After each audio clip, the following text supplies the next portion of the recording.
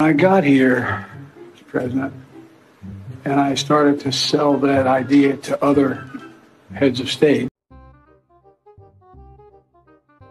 What the fuck is this? I don't know. I don't under. I didn't understand a one word you said. There was no re- there was no reluctance. There was no no, no, no oh, I don't want to. Re- it was everybody just said okay and sign on. Oh, no, no, no, no. That, that is just cheap pander. Enormous job.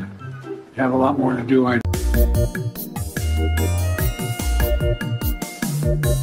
know, and uh, and I just think that uh, you know